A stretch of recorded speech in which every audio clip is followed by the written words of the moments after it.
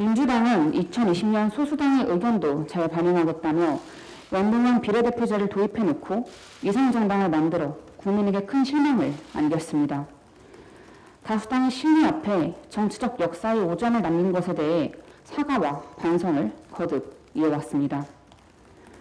입법 과정에 있어 쟁점 법안의 첨예한 갈등을 줄이고 소수당의 목소리도 반영해 수기하는 완충 장치가 안건조정위원회입니다.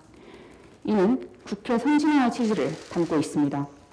그런데 민영배 의원이 당적을 바꾸면서 이 제도의 취지를 훼손하고 있습니다. 또다시 편법을 관행으로 만들어버린 것입니다. 검찰개혁은 반드시 추진해야 할 시대적 과제입니다. 그러나 입법 과정을 정당하지 못하면 법안의 취지도 공감을 얻기 힘들다는 것을 간과해서는 안 될 것입니다.